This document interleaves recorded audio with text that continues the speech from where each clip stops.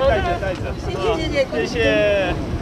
不忘提醒排队求合照的支持者，口罩要戴好戴满。前总统马英九一早合体国民党立委蒋万安到市场发春联拜早年。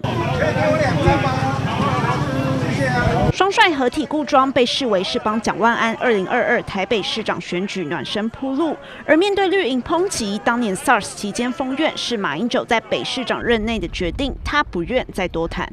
觉得这个这个问题真的不要再谈了。我们专心现在防疫吧，好不好？马不停蹄又赶往下个市场合体，党主席江启臣要趁着假日冲高反来猪公投的省市。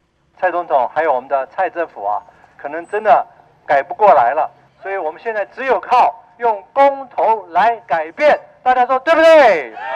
我们从一月九号全台开始联署，到昨天，我们两个公投案都各超过三十五万份的联署。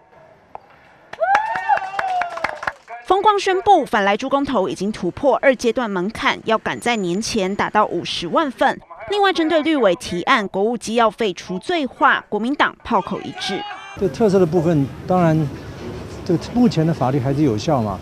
陈总统是保外就医啊，他没有除罪啊。不要认为好像不想违法就用修法的方式啊，这不是法治国家该做的事情。不要搞错了，陈水扁涉及案子不是只有国务机要费。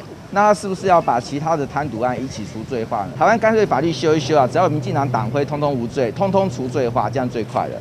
蓝营对外炮火猛烈，猛攻来猪议题，请走基层，拉拢民间力量，就怕能让百年老党支持度回升。环宇新闻余德清、伊丽婷台北报道。